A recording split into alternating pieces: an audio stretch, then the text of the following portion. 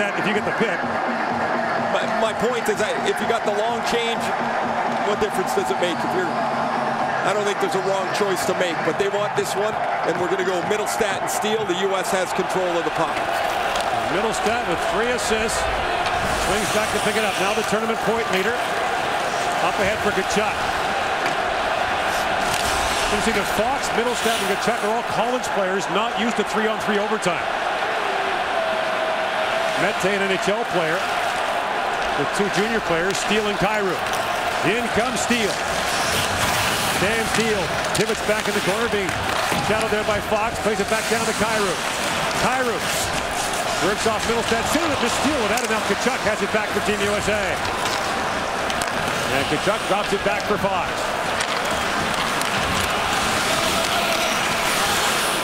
That's center ice, here's Mittelstadt with it. And over the boards is Perunovich for Team USA. Each team onto their second group of three. Perunovich with Joey Anderson. In with Poehling.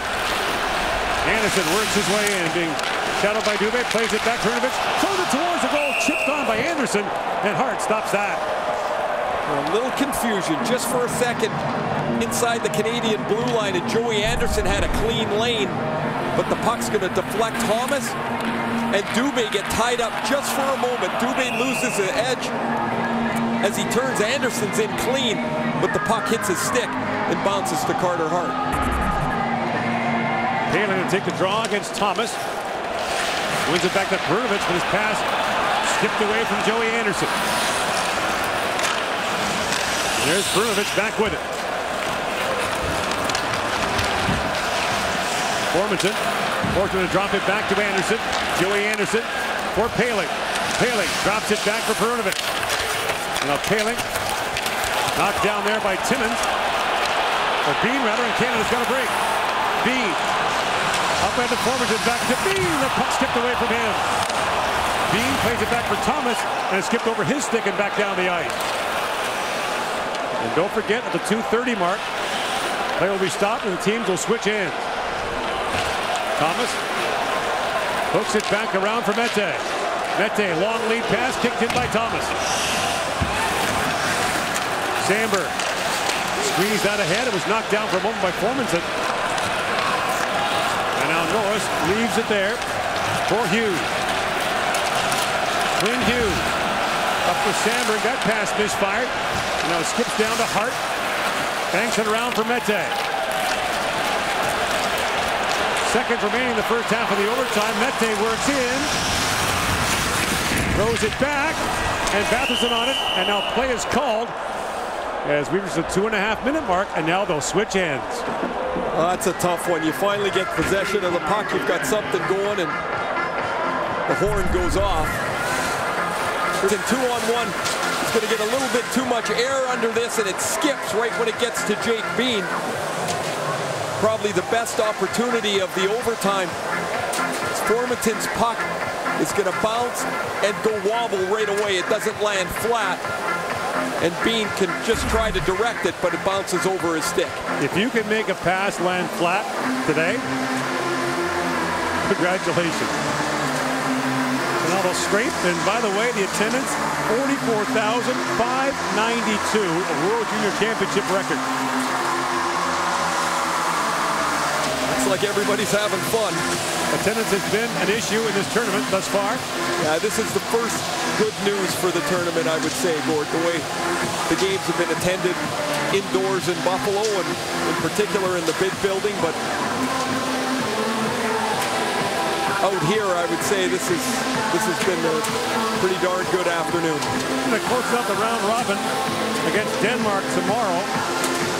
The United States has the Finns on Sunday.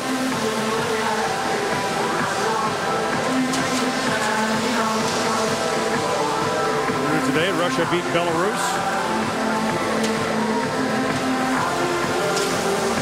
So another straight here. Haven't seen Kiefer Bellows in overtime. see him on the ice now. He, I wonder if he was coming out in the next grouping of players. Bellows' goal got the U.S. back to 2-1. His slapper beat Carter Hart. The first of three assists for Casey Mittelstadt. To 34 to 20 in favor of Team USA, and now a long change for the two teams. The last half of the OT. And some more ice repairs being done at the U.S. blue line. Not been very much of that today. No. Give a shout out to the crew here at New Era Field that really scrambled to get things ready. Stan Makowski, the VP of Arena Ops at the KeyBank Arena, was also overseeing the facility here, and they've really done a number. It has not been easy. The ice was called poor two days ago. When Canada, when Canada practiced, they had cones all over it. Uh, there was a couple of spots they wanted to be careful around.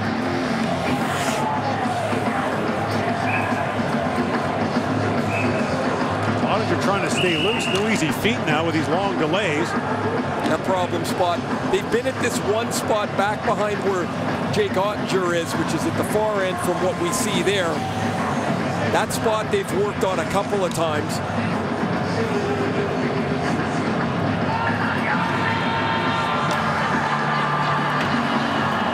Alexander Syusev from Russia doing his best here. Likely conditions he has not faced before.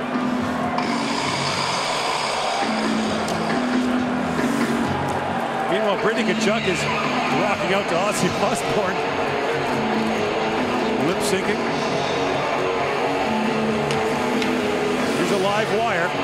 He's also a very good player. I've I've not seen him live until this tournament and very impressed. Like all the Tkachuks, he's very strong on the wall, but he's got soft hands, makes really good decisions with the puck. He's a good passer looking forward for Team USA. You got Logan Brown out, Will Lockwood down today. Canada went through this with their defense down to 5D against Slovakia. Now Brown went down with a lower body injury early and didn't return yesterday, so his prospects don't look great. This is what happened earlier. This was same Timmins spot. Stepped in that rut behind the net. And then Joey Anderson did.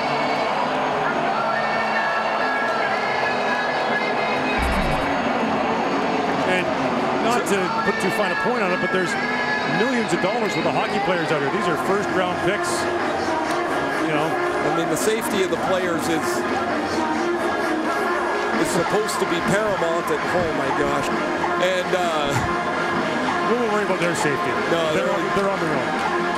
They're well oiled. And so you you have to slow down at times and as I said earlier, you know, when the Comtois penalty was the, the most dangerous three feet in the rink or all the way around, you just have to pay attention.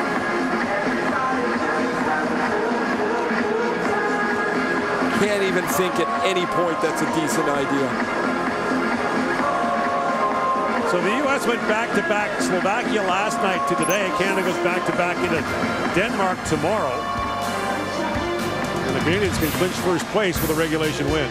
Hey, here's another thing. We're talking about all the people that do all this hard work behind the scenes. So the trainers are going to have to pack up the gear, load up the trucks, take it back to the rink, thaw it, dry it, yeah. get it ready for tomorrow.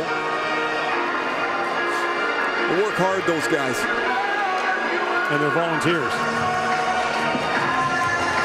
All right, so they've fix the ice or fix it as best, fix it as best they can. And we're ready for the second half of three-on-three. 3 the face-off in the American zone. And it's the first six players that were on the ice are back in this rotation. Fox, Tkachuk, Mittelstadt, Steele, Kyrou, Clague.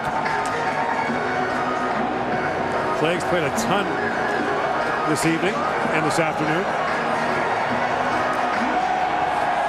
Well, the doors are closed, and here we go.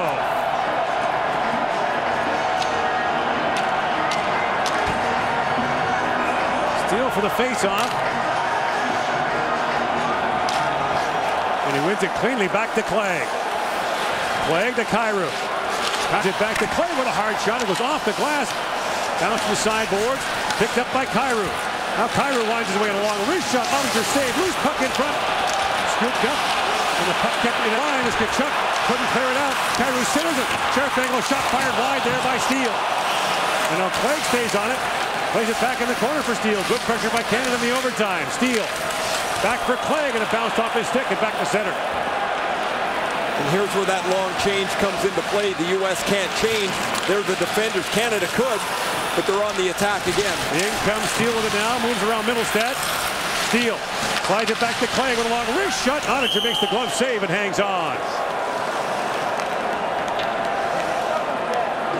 Brady Tkachuk's going to make a mistake here.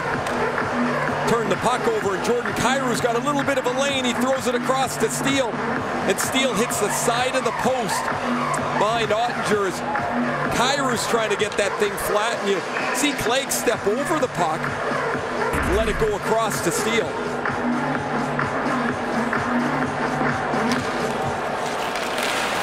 Face off is won by Poehling.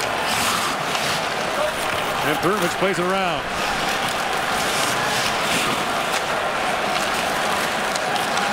Jono keeper Bellows in the overtime for Team USA as Poehling works in. Rolls wide of the goal as Hart kicked that away. Dubé. Moves it ahead. Brought in now by Thomas.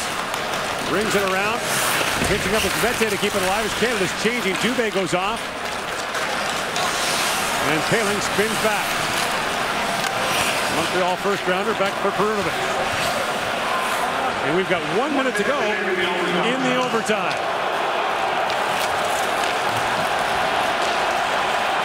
Yamamoto. Slides it. Bellows is on now. Bellows shoots. Kicked away by Hart. Bellows back on it. Wraparound try. Hart's down. He makes the save. We talked a couple of times that Bellows hadn't been on the ice yet. They jump on. There's a puck that bounces off the boards, and Yamamoto's going to literally bounce it across the Bellows, whose first shot is deflected but stopped by Hartney. Going to ring this second one around. It hits the skate of Taylor Raddysh. Oh, it's actually the goal stick of Hart and come back, and he's able to cover it up. In the Canadian zone, Mittelstadt back out there with Tkachuk. And now a discussion about a late change here. Samberg will come on for Fox. Canada is the home team and has the last change in this game. Steele for the draw against Mittelstadt. And Steele gets tossed. Now Raddysh. and Mittelstadt won the faceoff. Back to Samberg. Long shot. Stopped easily by Hart. Now Tkachuk with it. Brady Tkachuk. Feeds it back to Mittelstadt. Mittelstadt holds. Being shot over by Mete. What a dangle there by Mittelstadt. Again, Mete stays with him.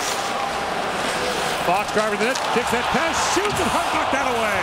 What a feed again from Mittelstadt. Fox on it, steps around Steele, drops it back for Mittelstadt. Works in on Mete, drops it back for Tkachuk. Hooks it back to Mittelstadt, time winding down in the overtime. Mittelstadt winds it, holds, and shoots in a leg, bouncing puck in front. And this game is going to go to a shootout. Busting it at the horn was Raddysh for Canada. And now, a great chance there. Turned away by Hart. The shootout is next. The 2018 IIHF World Junior Hockey Championship from Buffalo, New York is brought to you by Esso. The Esso brand has fueled Canada's love of hockey for